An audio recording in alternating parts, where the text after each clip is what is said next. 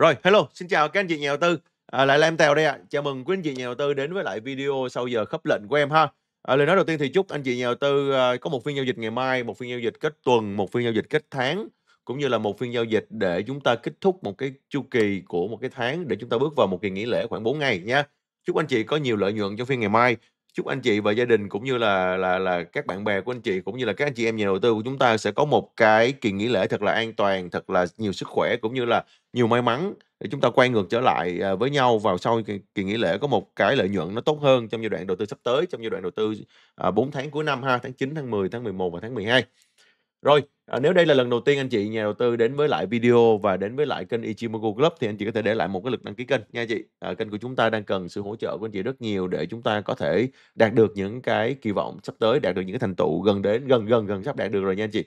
Ngoài ra thì nếu như anh chị thích cái video mà thích những cái chương trình như thế này thì anh chị có thể để lại một cái lượt like ha hoặc là một cái lượt bình luận ở cái phần comment để à, chúng ta có thể là trao đổi với nhau nhiều hơn. Ví dụ như những mã cổ phiếu mà anh chị quan tâm hoặc là những cái góc nhìn mà anh chị đang view đối với những cái video mà anh em anh em trong câu lạc bộ có thể đưa ra hoặc là khảo sát có nghĩa là chúng ta đưa ra những cái góc nhìn để chúng ta tham khảo với nhau nhé à, ờ, không làm mất nhiều thời gian của mọi người nữa chúng ta sẽ đi vào nội dung của video ngày hôm nay ha à, chúng ta đang thấy được VN Index của chúng ta trong giai đoạn vừa qua thì gặp rất là nhiều khó khăn nha chị. Giai đoạn đây đã là một cái giai đoạn mà à, mình cũng đã từng đánh giá là khúc này tương đối khó nhai ha. Khúc này đa số là xương là chính. Thì vậy thì liệu có vượt qua được cái khúc xương sóc này để đi lên một cái biên lợi nhuận lớn hơn hay không? Hay là cái khúc này sẽ là cái khúc mà nó sẽ tạo cái định ngắn hạn cho chị nhà đầu tư đúng không ạ? À, để tránh bị bị động trong giai đoạn thị trường nó có biến động mạnh thì chúng ta nên làm gì? Thì video này anh chị anh chị sẽ có được một góc nhìn chủ quan hơn. À, một góc nhìn khách quan hơn sorry anh chị, một góc nhìn khách quan hơn nha để chúng ta có thể tham khảo góc nhìn của nhau. À, đầu tiên là VN Index gặp nhiều trong gai đúng không ạ? À, anh chị thấy được cả tuần lễ này rồi ha, cả tuần lễ này rồi VN Index vẫn chưa vượt được mốc 1288. Thì lý do cũng đã chia sẻ như vậy rất cụ thể rồi. Thì cái biên độ vol dao động ở vùng này rất cao. Nên cái việc mà gây áp lực ngắn hạn cho VN Index ở vùng này là rất lớn. Nha. Để vượt lên được nó sẽ có hai cách. Một là nó phải test xuống để nó rũ bỏ những nhà đầu tư ờ, ngắn hạn trong giai đoạn này và những nhà đầu tư bắt đáy xong rồi sau đó nó vượt lên thì nó sẽ vượt lên khỏe hơn. Hai là nó sẽ vượt lên sau đó nó sẽ test ngược lại. Thì cái nhịp test ngược lại này là một cái nhịp rất nguy hiểm nên em cũng không muốn VN Index sẽ đi vào một cái xu hướng là nó kéo rướng lên rồi cho anh chị nhà đầu tư đua vào ha. Xong rồi sau đó nó mới rơi xuống thì cái nhịp rơi sau nó sẽ rơi còn mạnh hơn nữa. à, vậy thì chúng ta phải hành động như thế nào nếu như mà VN Index trong phiên ngày mai hoặc là trong phiên ngày thứ hai nó tăng hoặc nó giảm? Thì nó sẽ tăng hay nó giảm thì trong cái video này chúng ta sẽ trao đổi với nhau nhé. Tại sao có lại câu chuyện là giảm có mua không? Ờ, anh chị thấy được là nếu như mà trong cái giai đoạn chiều ngày hôm nay thị trường của chúng ta tiếp tục neo ở cái vùng cao để lên 1285, 1288 thì thị trường vẫn sẽ có rất có nhiều khả năng phá được cái vùng cản ở trên 1292 để nó tiến về 1298, 1299 hay là thậm chí là chạm 1300. Tuy nhiên là cái vùng này là một vùng rất khó nhai và chúng ta thấy được cái lực bán lên nó liên tục kéo lên là bị bán xuống, kéo lên là bị bán xuống, thậm chí có cả nhóm ngân hàng nó tham gia rồi. Trong hai phiên rồi nha chị, ngân hàng đã tham gia kéo thị trường hai phiên rồi. Phiên có ngày hôm qua và phiên có ngày hôm nay. Vậy thì nếu như phiên ngày mai nhóm ngân hàng quay ngược lại điều chỉnh cộng với lại nhịp điều chỉnh của nhóm chứng khoán và nhóm bất động sản khi mà khách sạn nó mở rộng ra thì thị trường nó sẽ đi về đâu? Nếu như thị trường nó giảm thì chúng ta có mua hay không? Và nếu như phiên ngày mai thị trường nó quét xuống và nó rút chân lên, chúng ta có nên mua hay không hay là chúng ta đợi qua tuần sau? Ha. Rủi ro đến gần là như thế nào? Chúng ta sẽ bắt đầu vào video ngày hôm nay anh chị nhé. Nếu như anh chị nhà đầu tư chưa có tài khoản tại SSI, có thể mở một cái tài khoản tại SSI để ủng hộ cho em Tèo ha. Ờ, chúng ta còn ngày hôm nay và ngày mai nữa. Nếu như anh chị chưa có tài khoản SSI trong tháng 8, bởi vì tháng 8 là cái tháng chúng ta được triển khai tặng app miễn phí cho chị nhà đầu tư mở tài khoản tại SSI và có cái uh, mức giao dịch là khoảng trên 50 triệu nha anh chị. Thì chúng ta sẽ được tặng một cái app miễn phí trị giá là 4 triệu 900 ngàn đồng.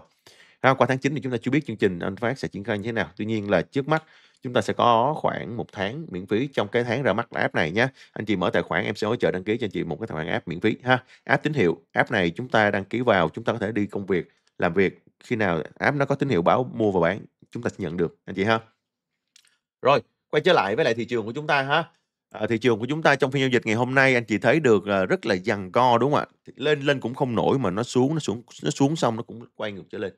Thì thị trường của chúng ta trong ngày hôm nay em đánh giá là một thị trường yếu và một thị trường sức mua nó không được chủ động như là sức bán.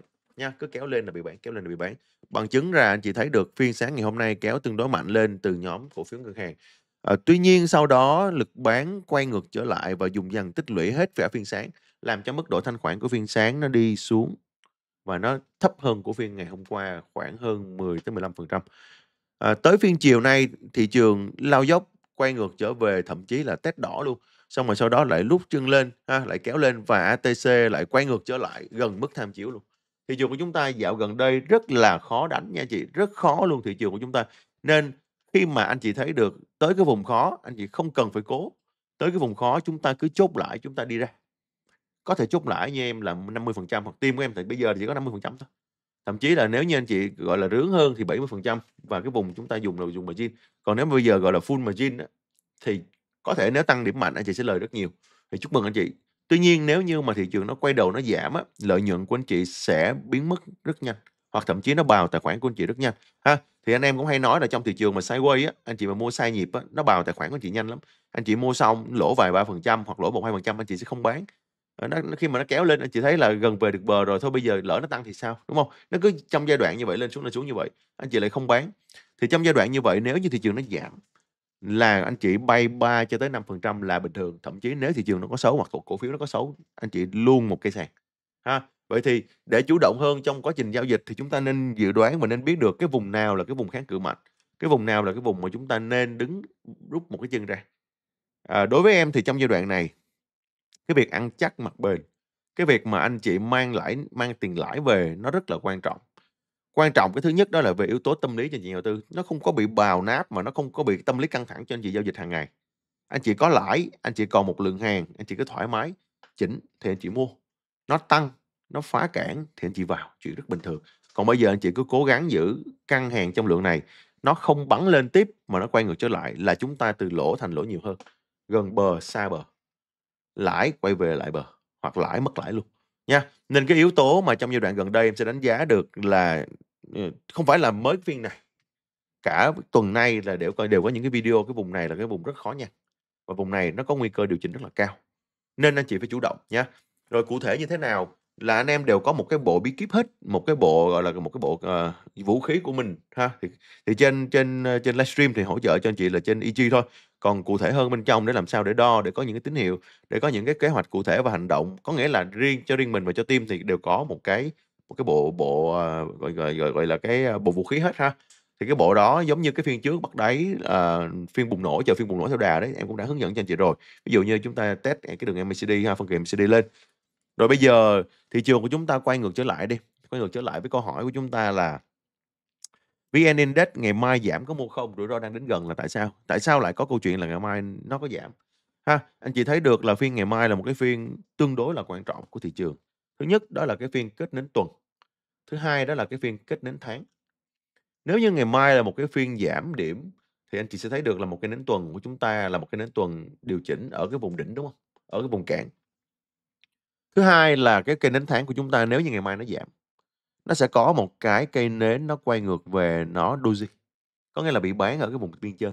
Vậy thì nó sẽ cho chúng ta một cái tâm lý lưỡng lự là nếu như mà trong tháng 9 thị trường của chúng ta nó có rung lắc thì nó có hơi hướng nó test về khách sạn hay không nha, khi mà khách sạn tháng, qua tháng sau nó lại tiếp tục mở rộng ra rồi, mình quay trở lại với lại khung đồ thị ngày, mình thấy được phiên ngày mai khách sạn của khung daily lại tiếp tục mở ra thì cái việc mà nó tăng mạnh lên là rất là khó có nghĩa là cho dù nó có tăng lên thì áp lực bán nó cũng túa ra nha chị mà thực sự là nếu mà nó tăng lên phiên ngày mai á thì em lại càng thấy thị trường nó rủi ro bởi vì nếu như anh chị học AG anh chị thấy được là nếu mà nó tăng lên ngày mai á thì qua lễ nó sẽ đạp rất là sâu còn nếu như ngày mai nó mà giảm á, thì chúng ta sẽ thấy được là có cơ hội của chúng ta rất là lớn. Bởi vì nếu như ngày mai nó giảm mạnh á, rất ít nhà đầu tư có gan mua vào. Bởi vì anh chị nghĩ là hôm nay nó giảm biết đâu cuối tuần nó ra tin gì xấu thì sao? Hôm nay nó giảm lỡ chiều nay Dow Jones Mỹ hay là cái gì đó nó ra tin xấu thì sao? Hiện tại hình như là Dow Jones nó đang tăng 200 điểm này. Nha. Dow Jones hiện tại như đang tăng 200 điểm ở cho chị coi Nasdaq Composite nó tăng lại 0.8. Dow Jones thì để coi coi. US Market. Dow Jones nó tăng lại 200 điểm này. À, hôm qua giảm 100 mấy chục điểm, hôm nay tăng lại 200 điểm ha. Đấy, thị trường của chúng ta và thị trường Mỹ nó cũng đang có những cái biến động rất là khó khó đoán luôn nha chị trong giai đoạn gần đây. Rồi quay trở lại với thị trường của mình. Ví dụ như phiên ngày mai mà thị trường của chúng ta nó tăng lên thì chúng ta không nói, đúng không? Anh chị tăng lên thì có một cái phiên nghỉ lễ cực kỳ tốt rồi, anh chị thoải mái, xong rồi qua lễ anh chị tính tiếp. Tuy nhiên nếu như mà phiên ngày mai mà nó giảm điểm đi, mà nó không giảm mạnh để cho anh chị mua mà nó chỉ giảm test thôi.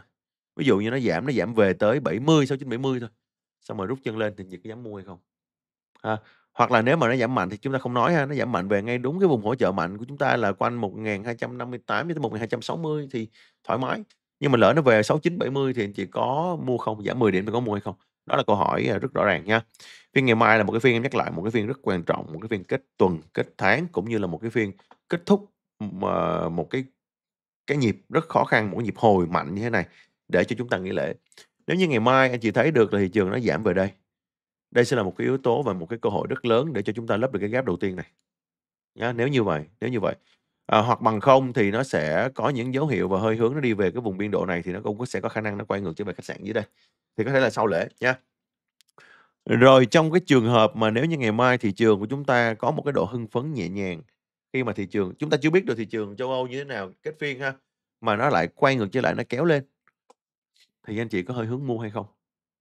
Rồi, chúng ta sẽ quay ngược trở lại với khung đồ thị H1, chúng ta sẽ thấy được rất là rõ ha. Khung đồ thị H1 cho chúng ta tín hiệu là hai kiếm của chúng ta nó đang có trạng thái là nó tương đối gần nhau và nó đang sát kể cả khung 15 phút và kể cả khung đồ thị H1 luôn. Có nghĩa là anh em mình nhìn thấy được là nến nó bắt đầu nó muốn chạm vào mây rồi. Thì trong EG á, nếu như mà nến nó chạm vào mây á, là nó chạm vào hỗ trợ, nó phải bật lên. Anh chị hiểu không ạ? Nó phải bật lên. Ví dụ như nó nhưng mà nó chạm về đây thì nó phải bật lên và thậm chí là bật lên phải mạnh để tiếp tục cái xu hướng đi lên ha. Rồi, trong trường hợp nếu như mà nó chạm mây nó không bật lên mạnh mà nó tiếp tục nó xuyên mây thì như thế nào? Nó xuyên mây thì như thế nào?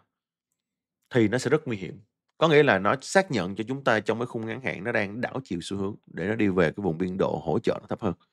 Thì đang có khá là nhiều những cái tín hiệu nó cho chúng ta thấy được là thị trường nó sẽ có khả năng như vậy. Tuy nhiên nếu như mà nó có khả năng nó xuyên cái vùng mây này thì nó sẽ là một cơ hội rất lớn cho chúng ta qua lễ luôn. Để chúng ta có một cái nhịp tăng lên mạnh đánh xuyên vùng cái khe mây này lên. Nha. Trong trường hợp ngược lại như em nói rồi, nếu như ngày mai nó lại cố tiếp tục nó kéo rướng thì anh chị có hàng, em cũng khuyên anh chị là nếu như có hàng và có lãi anh chị cứ chốt lãi ra. Không có mất gì hết, tiền nó về túi của anh chị, nó là tiền của anh chị. Không bao giờ đừng bao giờ có cái tư duy là sợ mất hàng nha anh chị. Đừng bao giờ có tư duy sợ mất hàng. Thị trường của chúng ta nó có cả ngàn mã, thị trường của chúng ta nó vận động hàng ngày, thị trường của chúng ta nó luôn có những cái biến động, à, mà anh chị thấy được là nó tăng nó sẽ quay lại và nó giảm, nó luôn là cái đồ thị xin không bao giờ nó tăng tăng mãi đâu. Nên đừng có sợ nó mất hàng, không bao giờ mất hàng được ha. Rồi nếu như mà nó tăng lên trên đây thì sao? Nó mà tăng lên trên đây anh chị có thấy là cái vùng khe mây mỏng này nó lại xuất hiện ra? Thì một nếu mà nó tăng lên đây nó phải tăng rất mạnh để nó bứt lướt qua vùng mây mỏng này luôn. Thì khi mà nó test lại nó sẽ test lại một cái biên độ nó phù hợp hơn. Có nghĩa là ít nhất nó phải vượt lên được 1200 1295 ha, vượt qua được 1295 luôn, tới 1995 luôn thì khi đó thị trường của chúng ta nó mới mạnh được. Ha, còn không chỉ nó cứ rướng rướng lên đây thì cái việc mà nó lọt cái khe này là rất cao sau lễ. Nha anh chị, lọt cái khe này là rất cao sau lễ luôn. Đó, đó là cái yếu tố nói về cái câu chuyện về Ichimoku của chúng ta ha. Rồi, chúng ta nói tiếp về một cái câu chuyện mà anh chị em nhà đầu tư để ý là cái điểm số nào chúng ta phải quan trọng vào ngày mai. Dựa trên công cụ Ichimoku anh chị sẽ thấy được là cái yếu tố về điểm số và cái mốc mà anh chị phải rất hết sức chú ý vào ngày mai đó chính là cái mốc biên trên 1288. Và cái mốc biên dưới của chúng ta đó chính là 1275. 1274 đây. Bây giờ nó là 74 chấm mấy rồi. Rồi, nếu như mà phiên ngày mai nha, anh chị thấy được nó đánh xuống một thủng 74 thì thị trường của chúng ta nó sẽ hết sức rủi ro. Nó có khả năng nó test về, ờ, 60 nha, nếu đánh thủng 74 nó về đây. Rồi xong rồi sau đó nó sẽ đi lên. Tuy nhiên là chúng ta sẽ thấy được là nó chỉ có một cái ngày thôi. Nó chỉ có một cái ngày mà chúng ta có chỉ có 5 nến giao dịch vào ngày mai. Thì cái biên độ mà từ đây cho tới đây ngày mai nó có một cái vùng mây rất là dài. Nên cái việc mà đánh xuyên cái vùng mây này cũng không phải là dễ cho phiên ngày mai nhá. Nên cái việc là nếu mà nó có test á, anh chị sẽ thấy được là nếu mà nó muốn giảm sâu á, là nó phải giảm từ đầu phiên. Nó đạp thẳng xuống đây đầu phiên luôn mà nó sideways đây nó xuyên xuống đây luôn thì nó phải đi từ đầu phiên. Còn nếu như mà chị thấy hết phiên sáng nó cũng vòng vòng bên này á thì rất là khó buổi chiều nó có một cái cây đánh xuyên ở đây ha. Nếu mà buổi chiều nó can nó còn cái cây đánh xuyên cái cái eo mây mỏng này thì đây là câu chuyện của chúng ta mặc dù là dự đoán được nhưng mà chúng ta sẽ rất bất ngờ. Bởi vì cái vùng này là cái vùng rất là cạn hỗ trợ rất là mạnh nhá. Nên nếu mà buổi chiều nó có xuyên vùng này anh chị sẽ thấy được rất rõ. Nên chị đừng có lo nhá. Rồi, mình nhìn lại câu chuyện nữa là anh em mình thấy được là cái biên độ, à, tích lũy của nó nó cũng dần hẹp lại, đúng không Cái biên độ tích lũy của nó nó cũng đã dần hẹp lại, bỏ cái đó đi ha, ở đây này rồi, cái biến động của chúng ta sẽ ra sao? Biến động của chúng ta nó sẽ xuất hiện vào ngày mai luôn. Nha chị, nó sẽ xuất hiện vào ngày mai. Thì ngày mai có phải là năm nến không? Ngày mai đang có biên độ này. Nếu như ngày mai chị thấy được là tới buổi sáng nó nằm dưới 79 đi, 80 thì mình đang lấy cái con số nó hơi chẵn chút, mình nằm dưới 79 đi, thì cái việc mà hơi hướng nó chui xuống cái mây này là rất cao. Nha, nó chui xuống cái mây này thì nó sẽ gây ảnh hưởng áp lực tương đối mạnh tương đối nặng nề cho anh chị nhà đầu tư vào buổi chiều. Nếu như anh chị kêu là, ờ, nếu như mà, ờ, anh chị đang có lãi thì thì chị cũng thôi túa ra đi, để, ờ, mấy ngày trong lễ có vấn đề gì đâu. Nếu như mà bình thường anh chị giữ tiếp nha, nhưng nếu như mà nó có một cái gì đó nó biến động xấu, anh chị sẽ bán ra mạnh.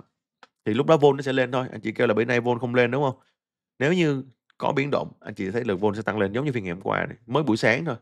Bất động sản nó gây áp lực thôi là vol nó nổ rồi. Chứ đừng nói là nếu như buổi chiều ngày hôm qua nha, nếu mà hôm qua nó mà giảm tiếp vào buổi chiều đạp bất động sản luôn á, thì nó sẽ là tích cực cho thị trường đó. Còn nó lại rướng như thế này nữa thì em đánh giá là thị trường rất là khó khó khó chơi. Khi mà khó chơi á, thì chúng ta không chơi. Chúng ta cứ để một giò thôi, còn một giò chúng ta rút ra, nha. Thị trường nó có nổ lên, chúng ta vào, thị trường của chúng ta nó nổ xuống, chúng ta vào, khối lượng giá nó tốt hơn, nha anh chị.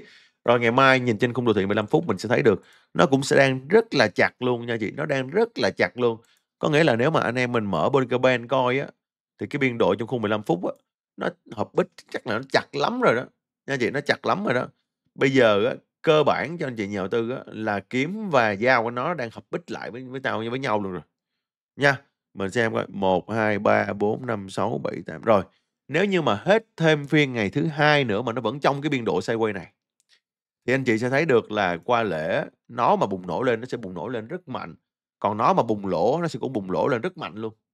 Có nghĩa là 4 kiếm của chúng ta qua lễ nha, là 4 kiếm của chúng ta, một là nó phóng là nó sống lên luôn, còn hai là nó hợp bích nó lao xuống là nó lao xuống đây luôn.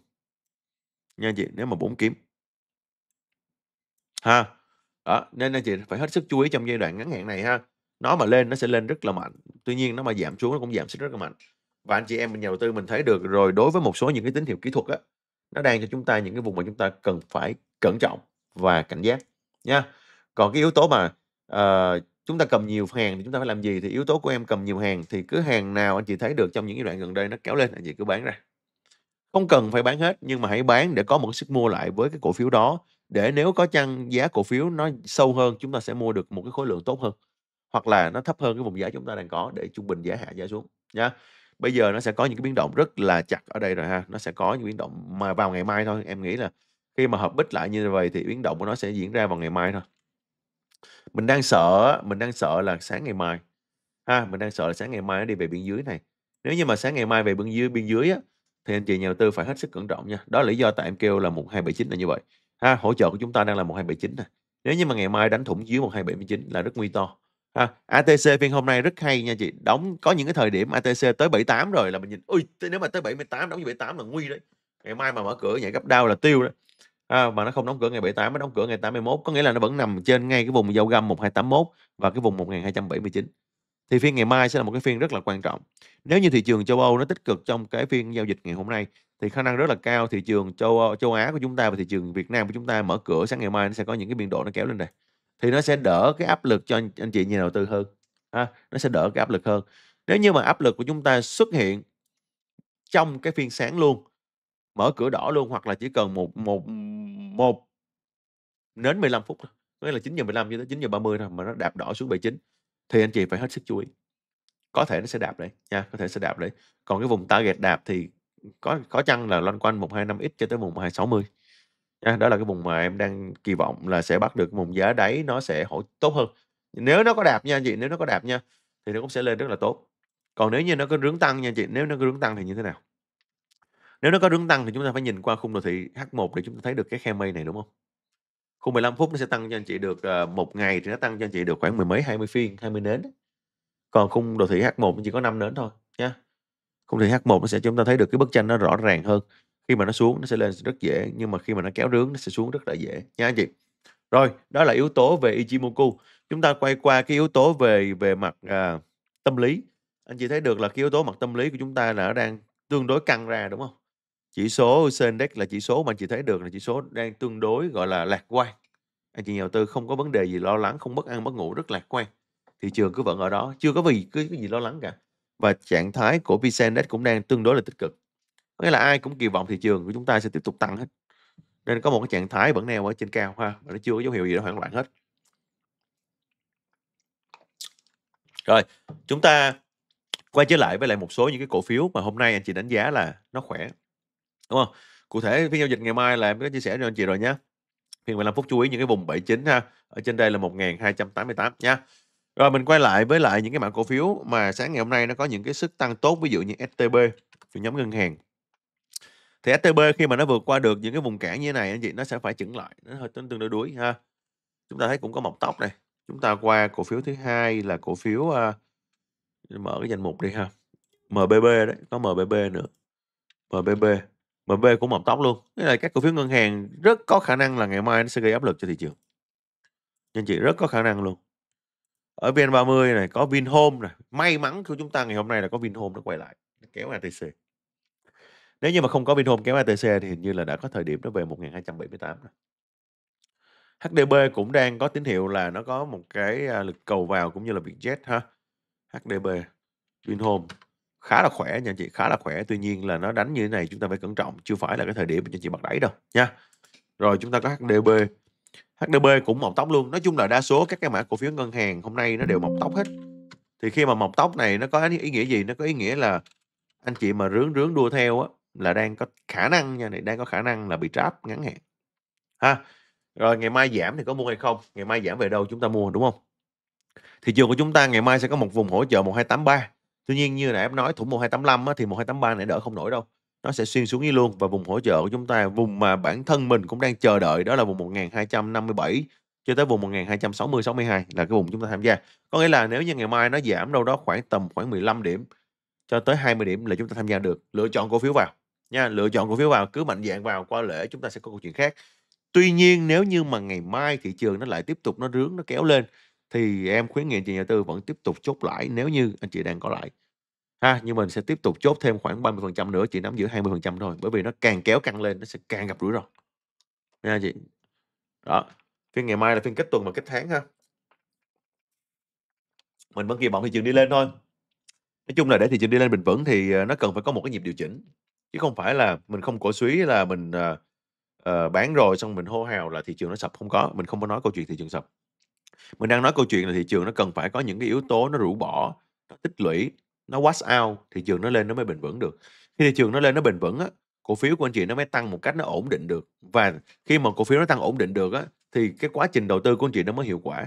Còn bây giờ anh chị thấy trong giai đoạn này anh chị tăng đi không nói ha, trong giai đoạn này anh chị thấy nó có hiệu quả đâu. Đúng không? Bất động sản nó tăng được mấy đâu. Đầu ngành như Phát Đạt cũng có tăng được mấy đâu, thậm chí phiên hôm qua rút chân mạnh hôm nay lại quay ngược đỏ. Chúng ta thấy đất xanh có tăng được mấy đâu. Chúng ta thấy DIG còn tăng được đâu. Chúng ta thấy đất à, chúng ta thấy, a, ờ, ờ CEO cũng có tăng được đâu. Đúng chưa? Các cổ phiếu bên bất động sản, chúng ta thấy Nam Long, Khang Điền cũng đâu có tăng nổi nữa đâu. Đó. Nha, anh chị nha, có Khang Điền là nó đang còn thấy hơi hướng nó còn nhú nhú, nhú nhú lên đấy chứ còn, Nam Long là thua.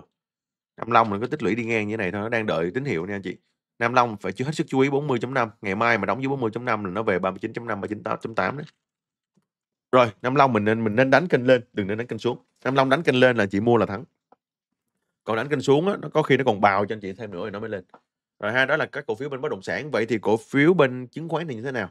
Anh chị em mình kêu là, ừ, đang có thông tin SSI nó sẽ ra thông tin là nó phát hành thêm để nó uh, câu chuyện của nó là câu chuyện, uh, sau lễ. Thì SSI hôm nay cũng có tăng được đâu. Tin tức gì ra, ngày xưa SSI nó còn có câu chuyện lợi nhuận cả ngàn tỷ nó còn không tăng được mà. Từ 33 nó cái vòng vòng ở đây hoài là chuyện ngàn tỷ nè, từ 33 lại hoài cuối cùng nó rơi. Bây giờ nó quay ngược trở về đây thì vùng cản ở đây, vùng cản rất là mạnh. Chúng ta gấp gáp với nhau làm gì? Đúng chưa? Rồi chúng ta có HCM. HCM cũng vậy thôi, HCM sau khi mà nhóm cổ phiếu mặc dù nó khỏe nhưng mà thị trường không ủng hộ, nhóm ngành không ủng hộ nó cũng không lên được. Nha, mà nó không lên được, nó cứ đi ngang như vậy là nó sẽ rất dễ có khả năng nó có một cái nhịp test. VCI hôm nay anh chị thấy được nó giảm rất là mạnh, đúng không? Anh chị kêu là OK, ờ, chủ tịch, Fela Phê La nắm mười mấy triệu cổ phiếu hay gì đấy cũng bán ra. Nằm ra gây áp lực thị trường, đúng rồi đó, có. Câu chuyện đó là có. Ngày mai sẽ bị hỗ trợ thì mình mua ha, về giao găm thì mình bắt. Rồi câu chuyện của thép kêu là ui giời, sao mà thép nó tạo đáy rồi mà nó không lên?" Mà nó vẫn cứ tiếp tục cái câu chuyện là nó phá cái vùng, ờ, hỗ trợ. Hỗ trợ chúng ta là 25.8, đúng không? 25.7, hay 25.8 nó phá luôn cái vùng hỗ trợ này rồi thì như thế nào? Thì HBG anh chị phải hết sức chú ý là nếu như HBG mà nó phá đáy á, thị trường của chúng ta nó xác nhận đỉnh rất cao, cả thị trường xác nhận đỉnh rất cao nha. Khi mà thép thế giới đang có tín hiệu tạo đáy, mà những cổ phiếu có khả năng tạo đáy sau như cổ phiếu thép mà nó không tăng lại được thì thị trường của chúng ta sẽ rất có khả năng nó tạo đỉnh tạo đỉnh trong giai đoạn dài hạn ở đây nha. Thì cụ có nghĩa là nó không tăng được nữa rồi đó, nó không tăng được nữa rồi, nó hồi nó cũng không hồi được. Thì chị thấy được là cổ phiếu Hòa Phát của chúng ta câu chuyện là qua tuần sau nó sẽ có khách sạn. Nha, qua tuần sau và tuần tới nữa có khách sạn. Thì cái việc mà nếu như thị trường của chúng ta nó có phiên rũ bỏ thì chị ưu tiên bắt vào Hòa Phát. Bởi vì khả năng rất là cao Hòa Phát nó sẽ có một cái phiên riêng không phải là Hòa Phát đâu nha, riêng nhóm thép nó sẽ có một cái phiên rũ lại nữa nó mới lên lại được. Thì khi đó nó mới lên bình vững ở biên trên được. Nha. Chúng ta có Hoa Sen cũng vậy ha, Hoa Sen cũng quay ngược, vẫn đang đợi điểm mua và Nam Kiên cũng đang đợi điểm mua. Ha, khách sạn của chúng ta cũng sẽ có khả năng nó sẽ mở ra hơi hướng trong giai đoạn tuần sắp tới thôi. Rồi, à, đó là nói về bất động sản, nói về thép và nói về một số cổ phiếu ngân hàng. Vậy thì nhóm cổ phiếu tiếp theo đó là nhóm cổ phiếu bán lẻ thì như thế nào? Nhóm gây mà áp lực thị trường sau một cái phiên bùng nổ, thậm chí là P&J anh chị mua chưa chắc anh chị có lãi ngày hôm nay nha chị, nếu mà tính phí được như là hòa phí. Ha, buổi chiều ngày hôm nay nó cứ vòng vòng vòng ở biên độ này. Khả năng anh chị chưa cắt đâu. Và khi mà anh chị ờ, phiên ngày mai nó còn gây áp lực, đôi khi anh chị lỗ luôn. Có nghĩa là trong giai đoạn này anh chị mua hàng về chưa chắc anh chị có lãi nha, mua về chưa chắc có lãi. Ví dụ anh chị mua Phát Đạt đi, anh chị bắt Phát Đạt phiên ngày hôm qua rút chân lên 20.9 đi.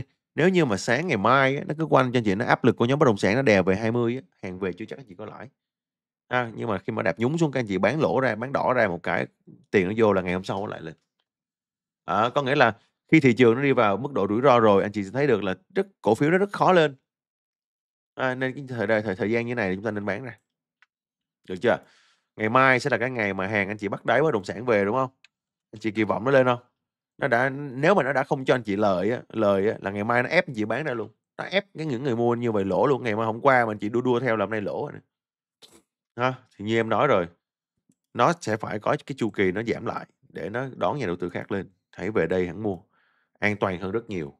Lãi không cần phải lãi, không cần phải mua một cái lãi ngay, mua xong hàng về lãi là được.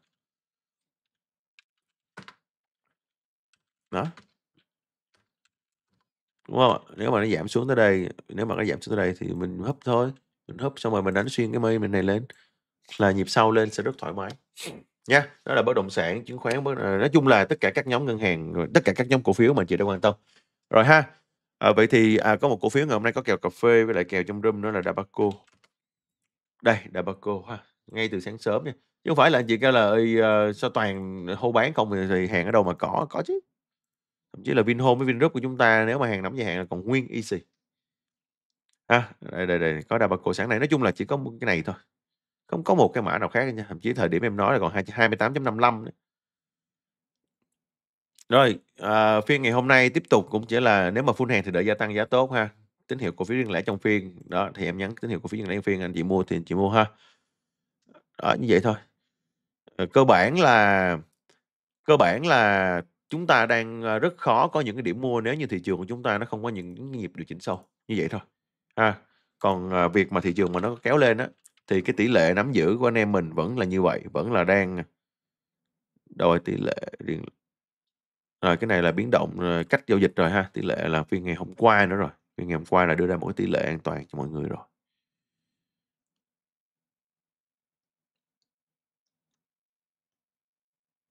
Đây. Đúng không ạ? Dù margin là tỷ lệ đến 73 rồi, 70% hàng, 30%, ờ, tiền rồi ha, thậm chí là phiên ngày hôm nay cũng vậy luôn, bắt đầu cũng nâng lên rồi.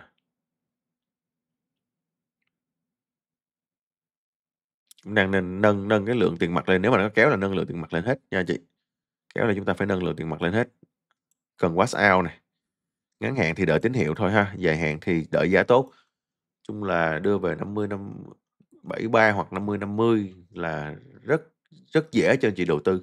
Thực sự là như vậy, thực sự là thực sự là rất dễ cho anh chị đầu tư, à, đợi qua lễ ta mua mạnh lại 50% lượng hàng bán ha. Đạp mạnh trước lễ thì khi mọi người ráng chúng ta sẽ mua. Nếu như ngày mai mà đạp thì chúng ta nên mua. Còn nếu như mà ngày mai thị trường nó kéo thì chúng ta nên bán. Như vậy thôi, nó sẽ rất là dễ và rất là rõ ràng cho chị đầu tư để quyết định nha. À, các rủi ro em cũng chia sẻ rồi. À, các cái, uh, tín hiệu tích cực là cũng có cho anh chị chia sẻ trong câu trong cái quá trình anh chị đầu tư dài hạn rồi, đúng không ạ? Thì nếu mà nói về tín hiệu mà dài hạn á, mà anh chị thấy được là thị trường của chúng ta nó cần có những diễn biến để nó tăng lên được 1.400 á. Thì thực ra nếu mà nói về vĩ mô em đánh giá là bây giờ rất khó. Bởi vì thông tin tích cực nó ra hết rồi. Thậm chí là anh chị thấy rất rõ ràng câu chuyện về lãi suất nó cũng đã đưa ra rồi. Thậm chí câu chuyện là chúng ta thấy được là lãi suất nó điều tiết, xong mà thị trường thế giới nó tăng một nhịp cũng không có được quá mạnh. Xong rồi sau đó lại quay ngược trở lại nó giảm. Thị trường Việt Nam của chúng ta trong cái ngày hôm sau nó cũng không tăng được, nó cũng thậm chí là có lực bán luôn. Có nghĩa là nó đã hấp thụ hết trong cái nhịp tăng vừa qua rồi.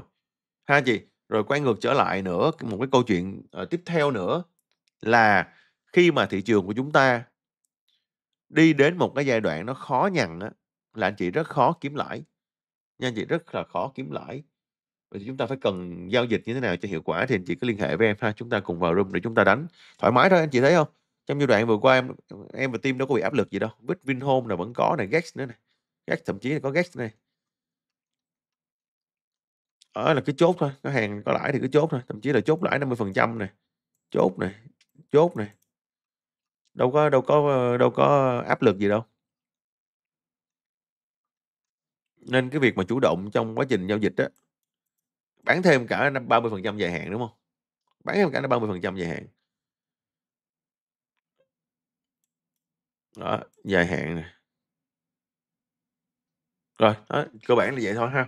Nếu mà mọi người yêu mến với lại mọi người thích cái cách tư vấn với lại trong cái cái cái room mà chúng ta có những cái hồng hình ảnh cho anh chị dễ hình dung quá cho anh chị trực quan, anh chị nhắn tin cho em. Em sẽ anh chị vào một cái room ha, để chúng ta giao dịch với nhau và chúng ta có những cái bước đi và những cái kế hoạch hành động cụ thể hơn. Rồi nha. Cảm ơn mọi người nhà cảm ơn chị nhà đầu tư đã đồng hành cùng tôi cùng em ha. Chúc anh chị có một cái buổi tối xem video hiệu quả và đặc biệt là nếu mà được thì em sẽ công chiếu vào sáng ngày mai ha. Sáng ngày mai chị coi lại, thì xem thử coi thị trường của chúng ta trong phiên ngày mai diễn biến như thế nào. Em cũng đang kỳ vọng là thị trường có nên có một cái phiên wash out, một cái phiên rũ bỏ đi, nó lên nó sẽ bền vững hơn. Còn nếu mà tiếp tục kéo kéo rướng lên thì tương đối là nguy hiểm cho chị nhà đầu tư trong giai đoạn sắp tới ha. Thậm chí là, à, test xuống kéo lên lên trên đây thì chúng ta sẽ có lãi rất tốt, sau đó chúng ta sẽ có kế hoạch sau nha. Rồi, tạm biệt mọi người. Hẹn gặp lại các chị nhà đầu tư vào phiên, ờ, livestream vào sáng ngày mai. Phiên ngày mai sẽ rất là hay. Phiên kết tuần, kết tháng cũng như là đóng nến ngày, nghỉ ngơi trước khi nghỉ lễ nha. à, đối với em thì nên mang tiền về. Nên mang tiền về nếu kéo mạnh, à, mình đang cũng kỳ vọng là ngày mai sẽ giảm đấy, nó sẽ không cho anh chị kéo mạnh cho anh chị chốt lãi mang mang tiền về đâu. Sẽ có khả năng nó sẽ rũ bỏ, nó đạp cho anh chị ha, thì sẽ không dám mua.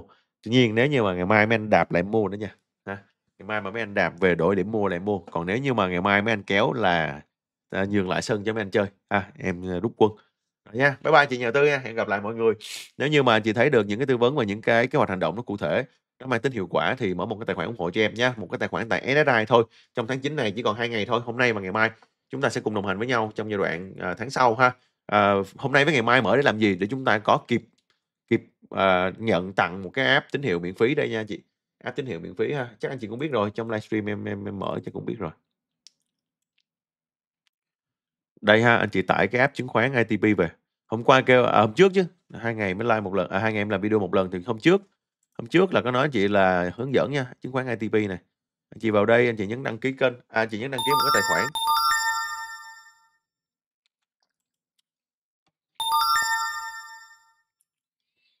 Rồi anh chị, à, đây ha. Đăng xuất ra đi. Anh chị vào đăng ký ngay nè. Nếu mà mở tài khoản rồi nha, anh chị đăng ký ngay, chị chọn VIP 2 nhé, chọn gói VIP 2 xong rồi nhập ID môi giới của em là 2762 vào. Đó, công ty gì, công ty gì, số tài khoản chứng khoán là gì ra, xong rồi nạp, nạp trên 50 triệu nha chị, xong rồi đăng ký. Xong rồi chị đăng nhập.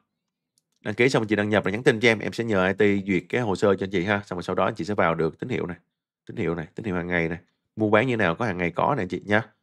Xong rồi các cái lệnh đã đóng này ha. Đó, các cái lệnh này toàn lãi không à. Nhưng trong giai đoạn như này là giai đoạn chị chốt lãi rất là sướng. Cứ ưu tiên mà chốt lãi đi. Còn mở tài khoản thì như thế nào? Mở tài khoản nhanh lắm anh chị. Tải cái app SSI iBond Pro về. Xong rồi chị vào trong đây. Anh chị nhấn mở tài khoản ha, nhập ID 2762 vào. Còn trên đây anh chị nhập số điện thoại, email của chị nè. OK, xong rồi làm theo các bước sau là xong nha. À, hy vọng anh chị và em sẽ cùng đồng hành với nhau trong giai đoạn sắp tới ha. Nếu như chúng ta, uh, phù hợp với nhau, chúng ta có những góc nhìn giống nhau thì chúng ta sẽ đồng hành với nhau. Tạm biệt mọi người nhé. Chúc anh chị nhiều sức khỏe, có một cái kỳ nghỉ lễ an lành bên gia đình và người thân ha. Bye bye. See you.